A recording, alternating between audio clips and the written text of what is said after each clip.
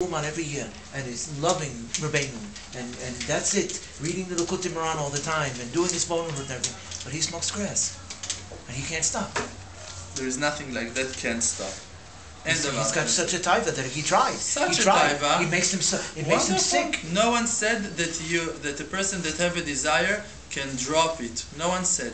Just you can fight against it. And the weapon that we have is davening. No one said that a person have the power to conquer the Yetzer Hara.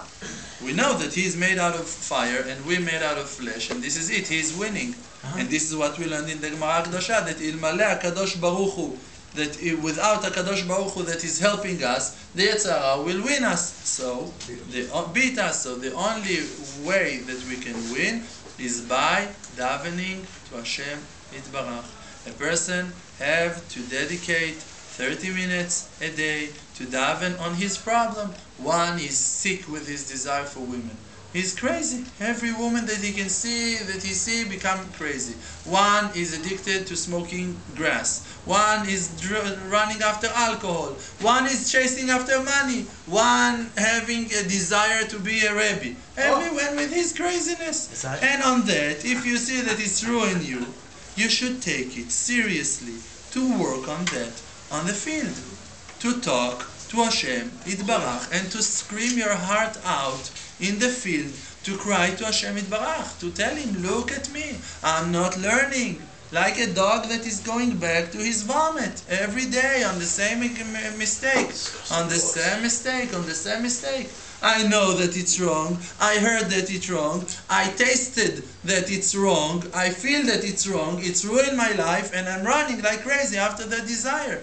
Save me, Hashem. I'm so stupid. I'm not learning. Help me. Save me. Day after day, day after day. And if a person think to himself, how I'm going to say the same diburim every day, one day after the other, what, I'm a robot, I'm a machine to say the same diburim, it's getting bored, I'm getting bored, it's not my job, why, why should I do that? It's not logic, what, it's a sidur, it have to be itbodedut.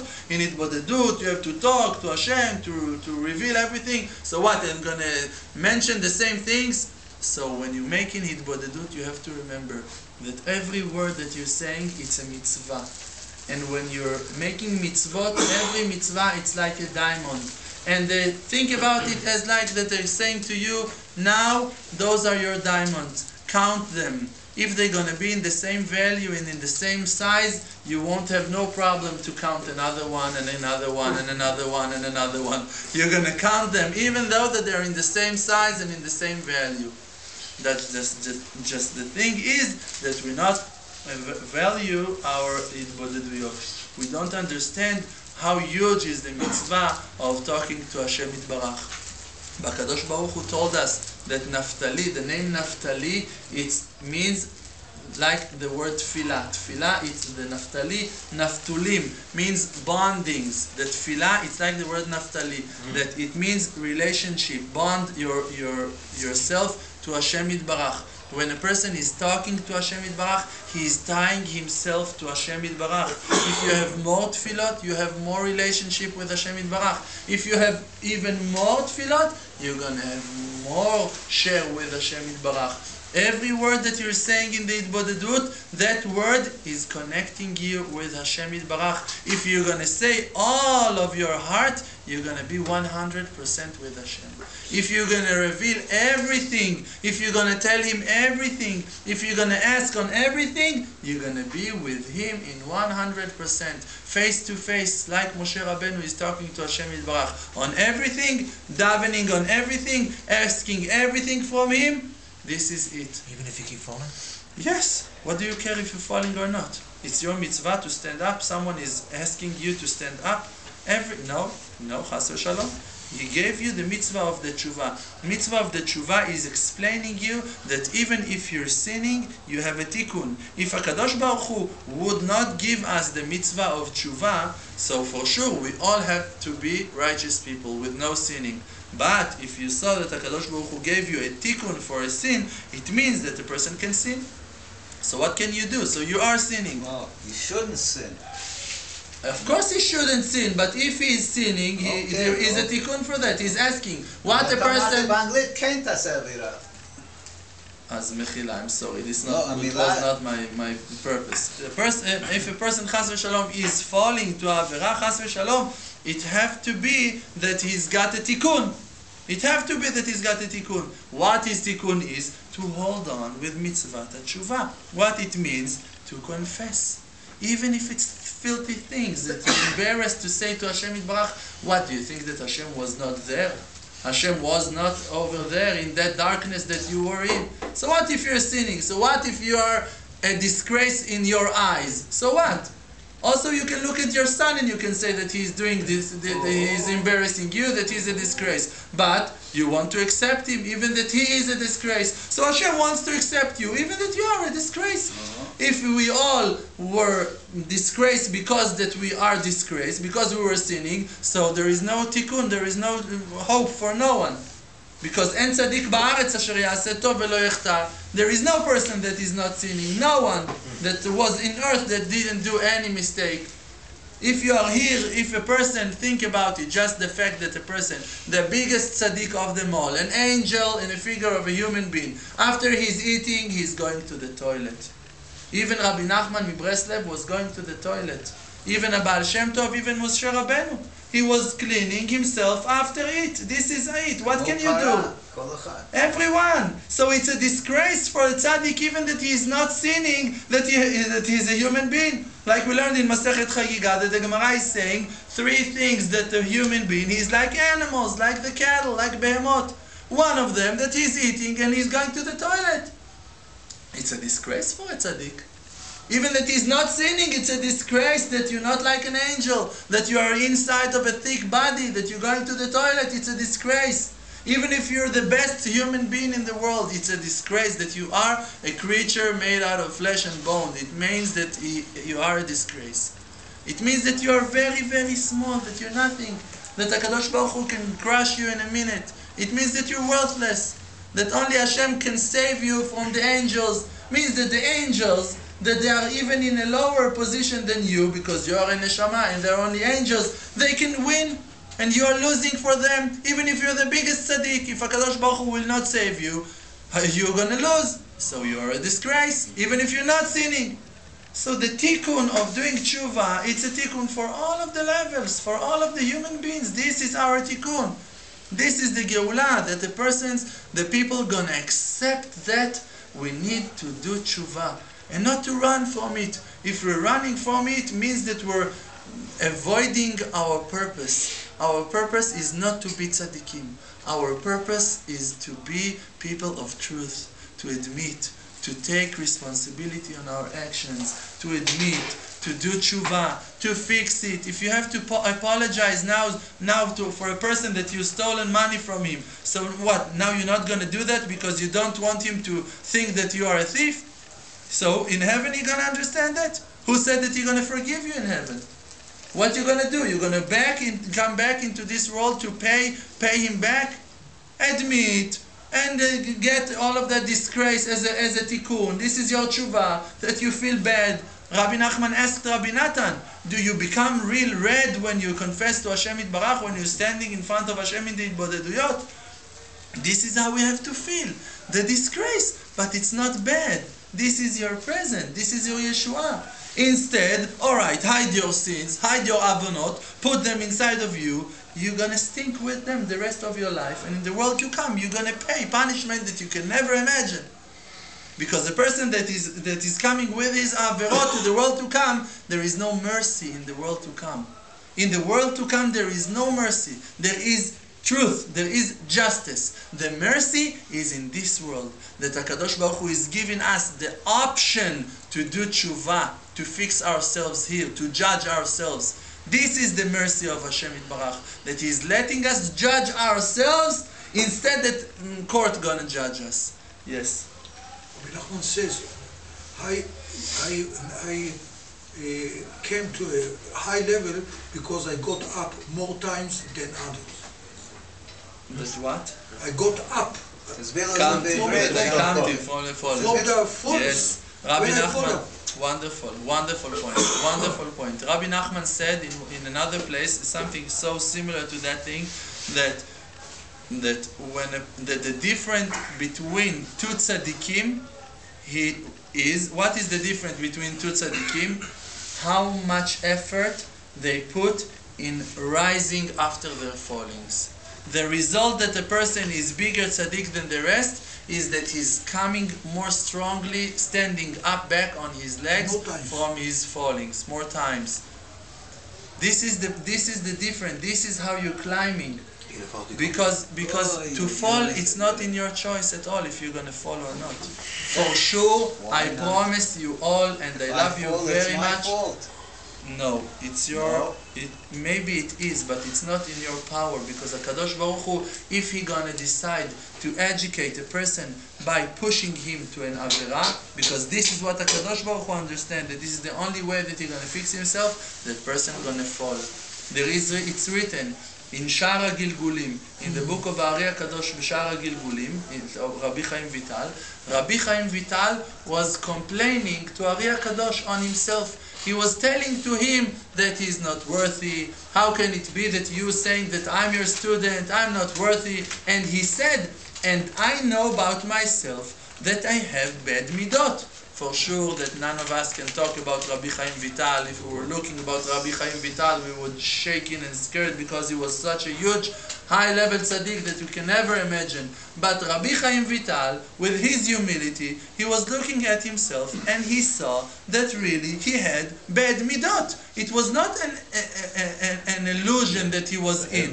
Really, he was finding himself angry and acting in a way that he didn't saw it, that it's um, um, um, proper, prop, proper, Proper. proper to, to, to act. And he asked Hari Kadosh, how can it be that you're saying to me that I'm your main student, that I'm the, the, the, the student that you, that Hakadosh Baruch Hu chose to bring all of the Torah of you, the Ari Kadosh, to him, and I know that in this generation there is huge people. In that generation of Ari Kadosh, Rabbi Chaim Vital, the tzaddikim that were walking over there, surrounding them in Tzfat and in Tveria, they were huge, huge, huge tzaddikim in the same generation. And the Ari Kadosh didn't choose none of them. Only Rabbi Chaim Vital.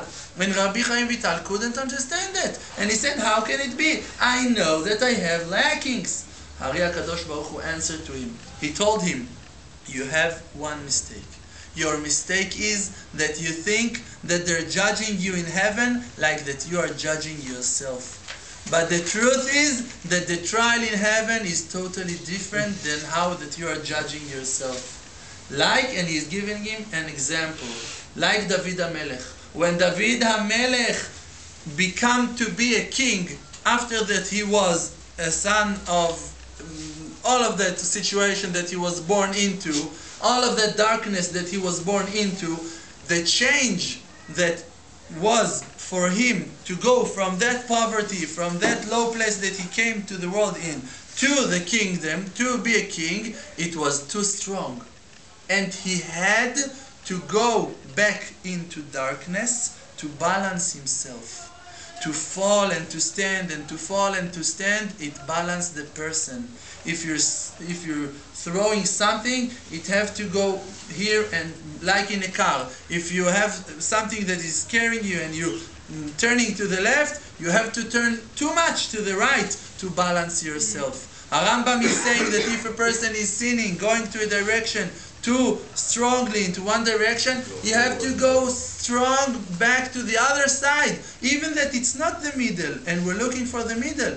To balance yourself, you have to go to the sides. So he told Ari Kadosh, told uh, Rabbi Chaim Vital, and on that sin, so to speak, of David HaMelech, that he fell down back into filth, into left side, on that Hakadosh Baruch Hu was not angry at him at all, and they haven't judged him on that at all.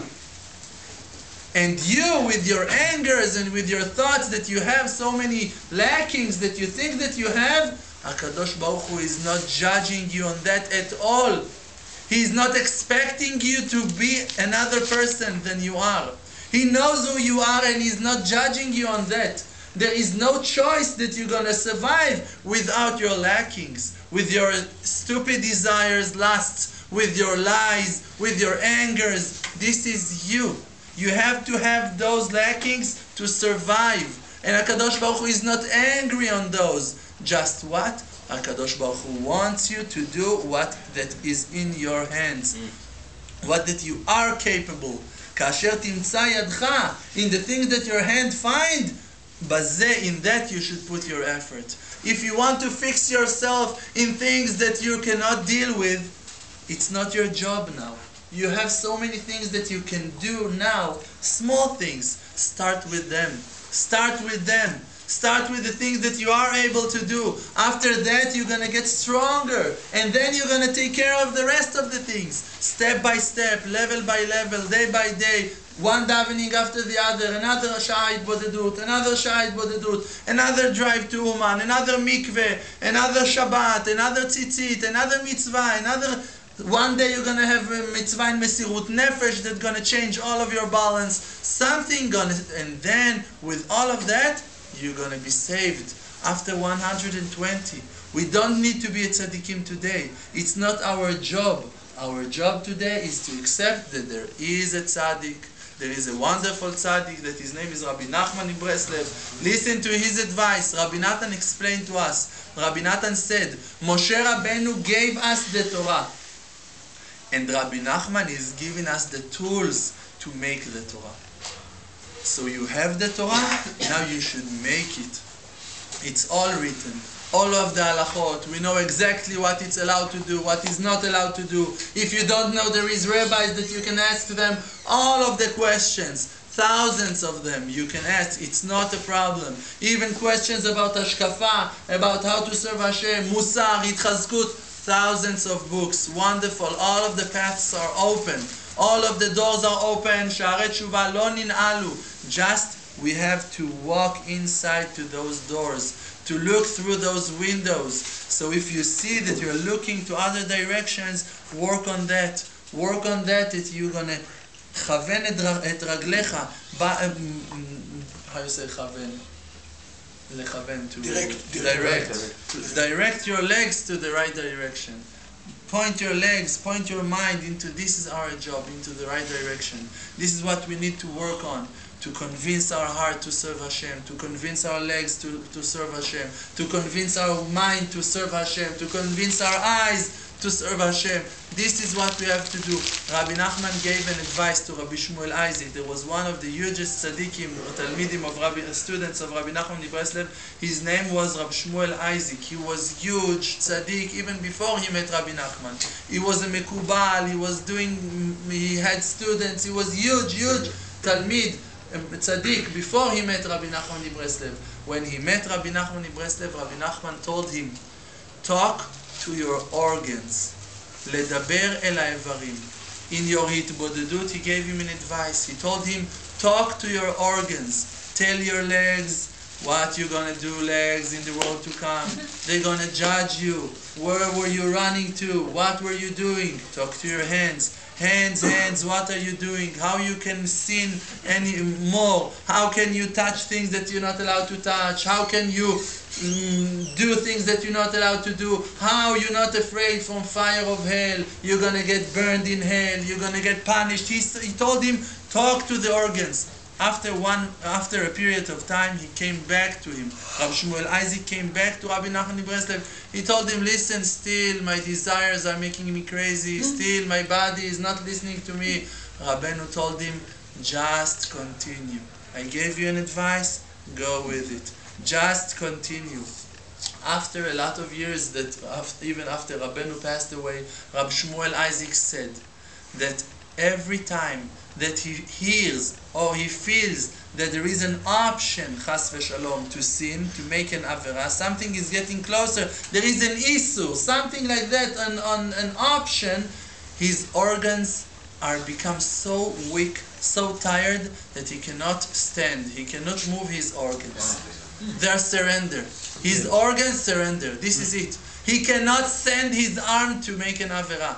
He cannot send his mouth to say something that is not allowed. His mouth is shaking. You can convince yourself. By what? by continue doing the same thing daily. This is why the Torah is teaching us to make the mitzvot daily. Again, putting tefillin. Why not? Kadosh Baruch Hu could give you the mitzvah of tefillin once in a lifetime. Make tefillin, and that this is going to be the mitzvah. No. Most of the mitzvot, it's mitzvot that they're daily. You're doing it day after day, day after day. Only by that, only by that method, by that shita, that it's it's to conquer you. Because actually, the reason that we are sinning today, it's not because that there is a verdict on our heads, chas v'shalom, that because that we were sinning in our history, in our past, so now the punish is that we're going to sin today. This is not the reason. Because when a person is doing tshuva, and we all made tshuva, we all done tshuva, just we don't believe in our tshuva. We all done tshuva. The only so by doing tshuva you become a tzaddik gamur. Rabbi Nachman Breslev said the person that remembers him become to be like a baby, baby that just reborn. So we all remembered him more than once in our lifetime. So we all become to be babies, right? So why are we still sinning? Because we used to sin. Because this is how we used to live our lives. This is how, what we love. This is our desires. This is what we used to do. So we keep on doing the same stupid Habitual. things. What? habitual. Habitual. It's a Yeah. habit. It's Habit. habit. Habit. Habit. Exactly. Habit. This is the reason why we're doing it again and again, just because we're used to do that, and not because that this is punishment or something like that. So we have to educate ourselves back again from the beginning. Make a new start. Start over. Talk to Hashem Yitbarach on the real way that you want to manage your life, to deal your life, to go, to to to lead your your life in and and start talk to yourself start talk to Hashem ask him Indeed, but we're talking to ourselves a lot of times we're saying to ourselves what's going on with you? I'm talking to myself a lot and I'm not on medicines Baruch Hashem. We can talk to ourselves in the Bodedut this is the Bodedut that Rabbeinu said it calls Yishuv Adat when Rabbeinu is saying Yishuv Adat, he is calling the Itbodedut Yishuv Adat. And Rav Shalom said that he was hearing Rabbi Levi Yitzhak Bender, that most of the times that Rabbi Levi Yitzhak Bender was talking about Itbodedut, he was calling it Yishuv Adat. Yishuv Adat, it's something that you're doing without Hashem. You don't need Hashem to make Yishuv Adat, so to speak. We need Hashem for everything. It's all by Siyata Dishmaya. But actually, when you're making Yishuv Adat, you're doing it between you to yourself. You and yourself are talking now. You become to be a good friend of yourself and you're checking what's going on with me. This is how I should spend my life. This is how I should wake up in the morning.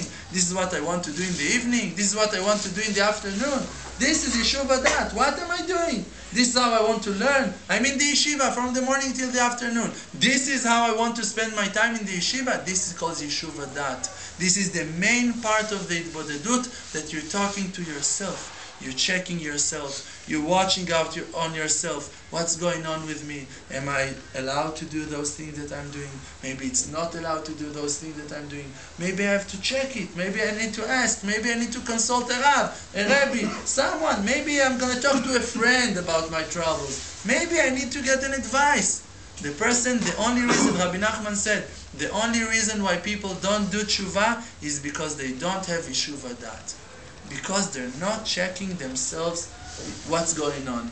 They're just running all of the time. No, I have to have money. I have to have my parnasa. No, I have to learn Torah now. And this is it. 120 years passed away, and this is it. And now he's going to be judged on every thought and every action that he made, and he never thought about what he's doing in his life.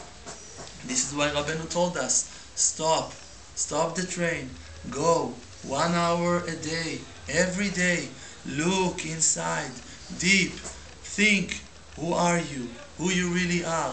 What is your pur- purpose in life? What are the things that you're obligated to do? What are the th- things that you have to change? What are the things that are ruining for you? Everything we have to check in the Bodedut. It's a wonderful present. Rabbeinu said, bigger and higher than everything else that He gave us. And He gave us Uman Rosh Hashanah, and He gave us Tikkun HaKlali, and He gave us all of our connection to Torah mitzvot. Um, At least on myself, I have to say that it's the only connection. I'm learning. I'm learning Shulchan Aruch because Rabbi Nachman Breslev said to learn Shulchan Aruch. I'm learning, this is me. I'm learning Torah Kedosha because Rabbi Nachman Ibresev said to learn Torah Kedosha. I never found power inside of myself to keep the Torah Kedosha without the advice of Rabbi Nachman.